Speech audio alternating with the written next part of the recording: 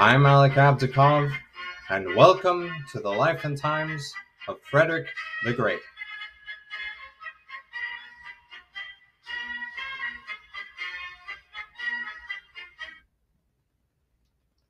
I do not think I can stress enough to you how grateful I am that you all are listening to this little podcast of mine.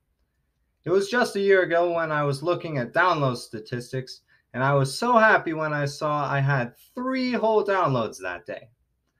Just a few days ago, I got over 50 downloads. Also, here's one last incentive to go to follow my uh, Twitter. My third favorite podcaster of all time, Zach Twamley, gave a shout out to my podcast on his Twitter. So be sure to listen to his podcast, When Diplomacy Fails. The link to that is in the episode description. Seriously, that was one of the highlights of the past week for me. So thank you, Mr. Twamley. Another thing is to remember that I am challenging you all to go on listener support because any donations from now until the end of July will be going straight to help the Ukrainians. And finally, be sure to give me honest feedback and reviews from wherever you listen. It genuinely means a lot whenever I hear from you all. Now, on to the road of war. King Frederick paved this road with his decisions in the last episode. The main catalyst for the war was Frederick's surprise invasion of Silesia in December of 1740. He was taking advantage of Austrian weakness after the death of the Holy Roman Emperor Charles VI. Frederick could also invade because the major allies of Austria, Britain, and Russia were either distracted by war or internal conflicts. I have also decided that I will do an episode about the War of Jenkins' Ear. I just think it's too much of a crazy story to not tell. After all, it was during the times of Frederick the Great, even though it doesn't have a whole lot to do with the actual life of Frederick the Great. Anyway, I talked a little bit about Frederick's winter campaign of 1740 in the last episode. The last thing I discussed was the storming of the fortress of Glogau on the Oder by the son of the old Dessauer. The main structure of this episode will be to first look at the campaign of Frederick's army in the spring of 1741, and then go to the moment, one might say a culmination point, of all the years the Prussian army trained under Frederick Wilhelm. This will be the main test of young King Frederick as a military commander. It's in the title of today's episode. Today's main topic will be the first major battle of Frederick's life, the Battle of Mollwitz. Here's a small bit of news from Austria that arrived in Frederick's camp a few days after the successful storming of Glogau. Maria Theresa had given birth to the future Joseph II on March 13, 1741. Side note, I decided to check whether that date would have been a Friday the 13th situation, but Joseph's birth was on a Sunday, so it's all good. Anyway, Joseph II would be another enlightened absolutist monarch in Europe as Frederick was on the throne.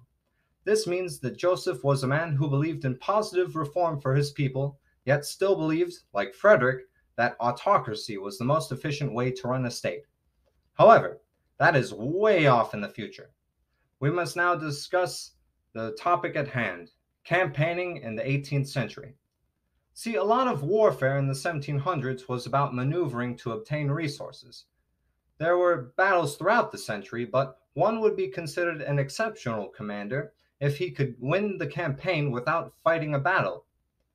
Battles would often take place when one commander wanted to press the advantage of the resources gained over his opponent. Another reason for a battle would be if an army is losing the campaign operationally and the losing army wants to attack a force uh, decisively in which resources could be captured from the enemy. However, there was one resource that may have trumped all the others in warfare of this age. Even more important than manpower at this time was horsepower. No, I'm not going to go all horse girl on you right now and say how horses are the most majestic and important animal of all time. However, I would like to point out some major uses horses had during this age. Horses were the tanks, scouting planes, and trucks for an army in the 1700s. By that I mean that horsebound soldiers, also known as cavalry, were there to do three main things in warfare in the 1700s. A cavalryman had to scout for enemy soldiers to see if one route was clear for them to march into. In battle, the cavalry, often the heavy cavalry called the cuirassiers, would attack at the crucial point of the battle where there was a chance for a breakthrough against enemy lines.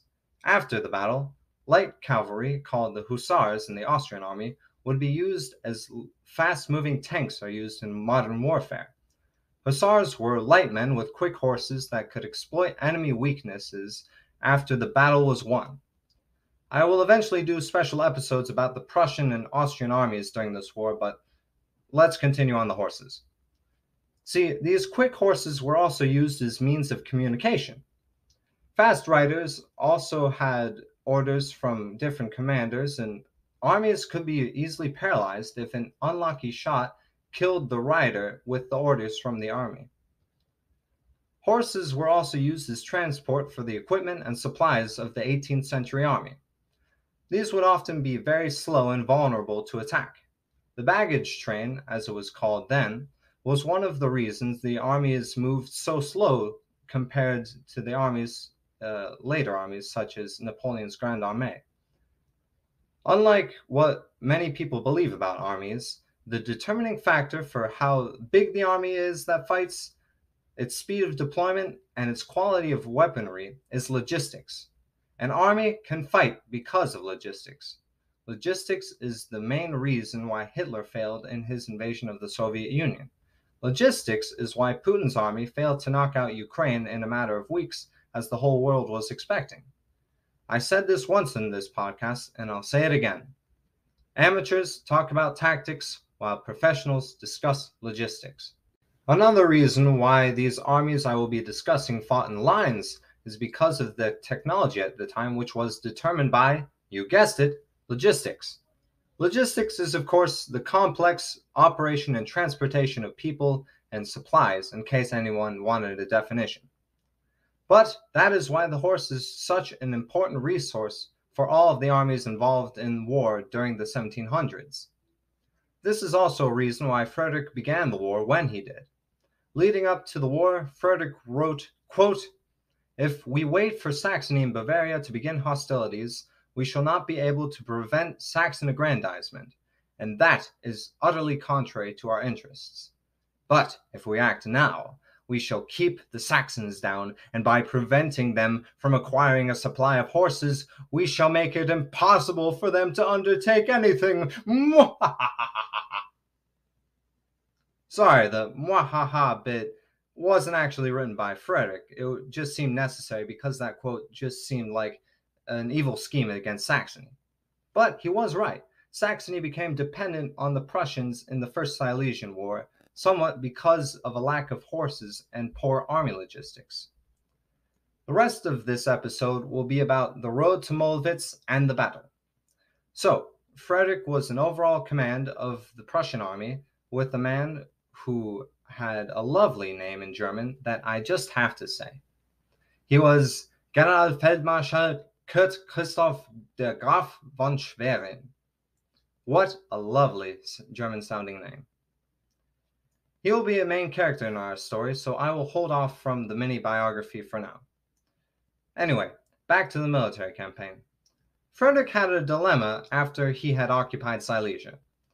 His troops were spread throughout the province, and Frederick had to decide whether he should where he should deploy his army. Frederick wanted to deploy his army farther north of the border between Silesia and Moravia, he thought that this would give the Prussian army more time to concentrate against an invading force, whereas Field Marshal Count von Schwerin wanted to deploy south near the border. Schwerin was thinking that if the Austrians did invade and the Prussian army was deployed in the northern positions, the Austrians could take advantage of important farmlands that could feed the horses. The healthier the horses, the better the cavalry. better the cavalry, the better the battle will go for you. Thus, due to logistics, the Prussian army was deployed south. However, this left the Prussians thinly spread over a large area. As the Prussian army was done deploying in its winter quarters, spring finally sprung. In April of 1741, Frederick received the news that the Austrian army, led by Field Marshal Count von Neipperg, was invading Silesia with 16,000 men. They seemed to be headed toward the Austrian garrison at Brieg. This town was only 42 kilometers from the Silesian capital of Breslau. This move by Neipperg was meant to cut Frederick off from his lines of communication to Berlin. Everyone could smell that it was time for a battle. Frederick wrote to his close friend Charles Etienne Jourdan, a Prussian born French Protestant known as a Huguenot. Frederick wrote, quote, My dear Jourdan, we're going to fight tomorrow. If heaven prolongs my days, I'll write to you and tell you about our victory. And crucially, he finishes the letter with, quote, Adieu, cher ami. See, in French, you only say adieu when you think you're never going to see the, the person again. I think Frederick had a strange combination of dread and excitement for what lay ahead. It was a cold and misty night as Frederick's army was marching towards the soon to be battlefield. There was still snow on the ground as the army was trudging behind the Austrian army to the south of Brieg. The going was extremely slow, According to Robert Asprey's biography of Frederick the Great, the snow was roughly two feet high. If this source is reliable, I don't know, it was from the 1940s. But either way, deployment was slow for Frederick's army.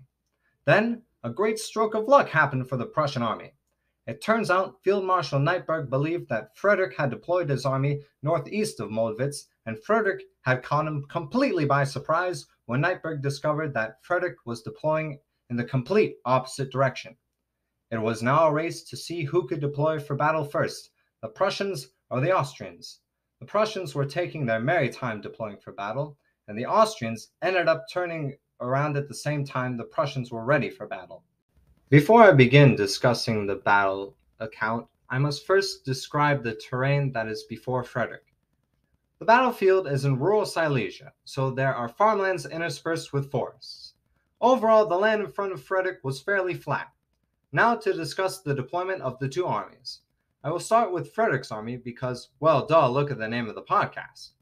Starting from right to left, which, if you're looking at a map of the battle on my Instagram, is in the southeast corner of the map with the Prussian army. Right of Frederick's line is the village of Hermesdorf, as the Prussians would initially deploy. On the far right wing of the army was the cavalry, which was commanded by General Johann von der Schulenburg.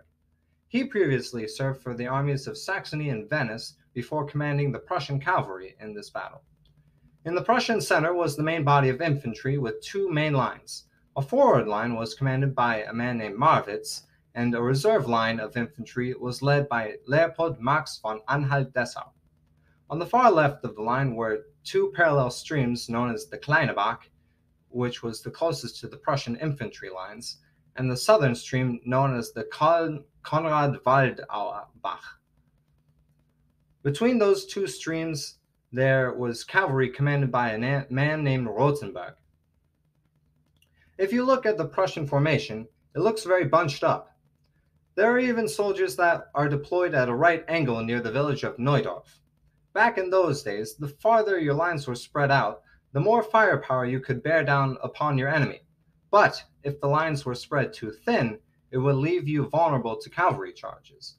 In total, the Prussians had roughly 21,000 men on the field. So that was the Prussian line. Here's how the Austrians were deployed. I will start on their left and go to the right. Northeast of the Austrian line was the small village of Gröningen, Southwest of that village was the elite cavalry of the Austrians led by General Römer. In the center of the alliance was the Austrian infantry led by General Goede, and on the right wing of the Austrian army in the western portion of the map is more Austrian cavalry led by General Berlichingen. In short, think of the two armies like Oreos. The fast moving cavalry to the left and right of the infantry is like the cookies flanking the cream. Some people think cookies are the most important part of the Oreo. I personally rate the cream higher than the cookie, and I don't care what you cookie lovers say. Anyway, the Austrian army had roughly 19,000 men on the field that day and were led by Field Marshal Neipperg in overall command. The battle began on 1:30 p.m. on April 10, 1741, with the Austrians turning around from their original deployment and the cavalry of the Austrian left, led by General Römer, created a screen of six cavalry regiments in front of the Austrian army so the Prussians were deterred from attacking while the Austrians weren't ready. However, cannons began to fire upon the Austrian cavalry in front of the main Austrian army. According to Christopher Duffy's book on the army of Maria Theresa, quote, nothing was more galling to the cavalry than to stand inactive under fire. Therefore, Römer would indulge his restless troops by ordering an attack against the Prussian right flank led by Schulenburg. As the Austrian horses were swiftly charging across the field, the Prussian cavalry did nothing. The Austrians were charging closer and closer, and yet the Prussian cavalry was at a standstill. Then finally, the Austrians crashed on the Prussian right flank, and the Prussian cavalry were getting the worst of it. Here's a quote from the Austrian side about the cavalry engagement at Mollwitz. They, meaning the Prussian cavalry, fought at a stand, so they got the worst of every clash. The extraordinary size of their horses did them no good at all. Our cavalrymen always directed their first sword at the head of the enemy horse. The horse fell, throwing its rider to the ground, and he would be attacked from behind. Those poor horses. What happened next will go down in history as one of Frederick's most defining moments as a commander. Frederick was partaking in the heaviest fighting of the battle in the Prussian right flank, and accounts show that he fought very bravely. But the situation was collapsing around him. The Prussian artillery was firing in the middle of this cavalry engagement, causing many friendly fire casualties. After all, the Prussian and Austrian cavalries both wore white uniforms, the snow made visibility horrible, and they were both shouting in German. With this utter chaos on the Prussian right, the Prussian cavalry finally broke and rode away from the battlefield. With the battlefield in Austrian control, Field Marshal Schwerin, the second in command, pleaded with Frederick to flee the battle. As that was taking place, the Austrian cavalry began to crash on the right flank of the Prussian infantry lines. Thus, King Frederick would flee the battle in a gray horse that would be nicknamed the Mollwitz Gray. Frederick would flee to the city of Oppeln, where the Austrians would nearly capture him.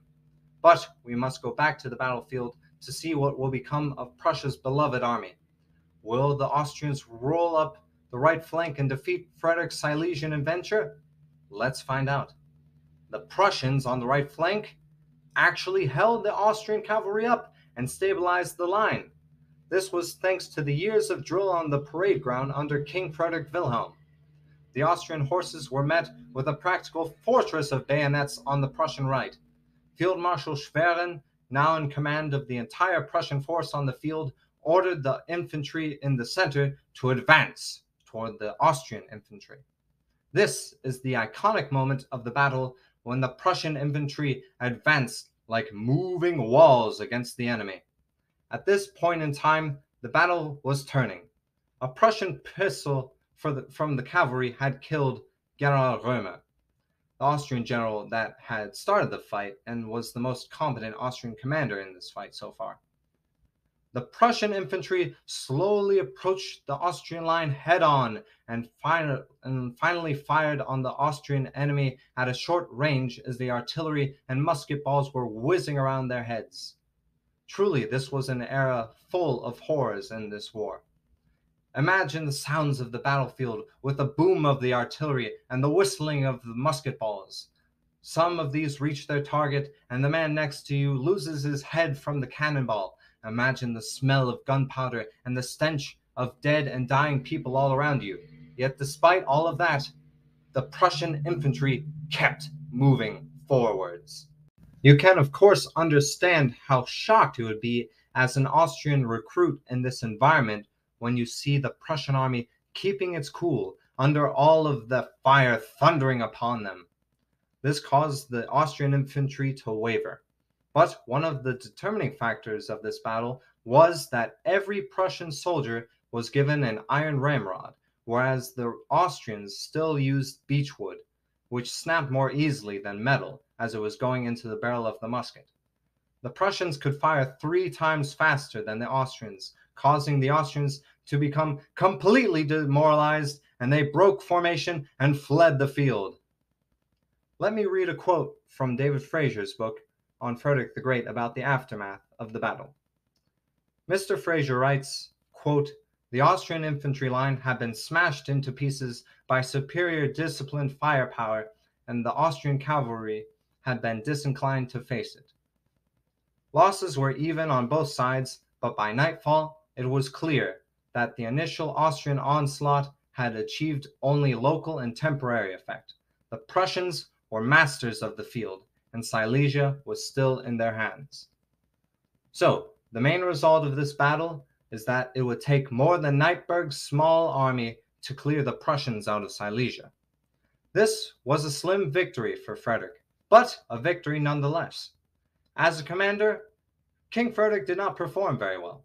He botched the deployment of the battlefield and lost the original surprise.